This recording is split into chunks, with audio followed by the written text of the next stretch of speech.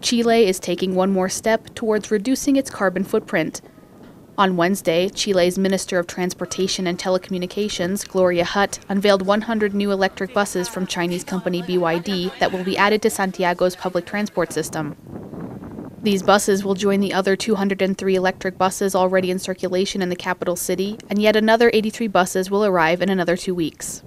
El aporte de China es significativo porque eh, han desarrollado modelos y, eh, y, vehículos de muy eh, buenas características, de muy buena calidad y están mejorando también los precios. According to Hutt, these buses are helping Chile to accelerate its electromobility objectives. The buses already in circulation have become a big hit among Chileans and are now many commuters' favorite mode of transportation. Hoy tenemos acá eh, la embarcación que trae los 100 primeros de una nueva orden de 183 buses que llegan para el sistema de transporte público de Santiago. Nosotros hemos tenido una súper buena evaluación por parte de la gente. Más aún, es súper interesante que la evaluación del gobierno ha sido muy positiva y ha hecho que las políticas públicas se puedan seguir expandiendo. Nosotros tuvimos una nota 6,3 dentro de lo que red como nuevo sistema significa.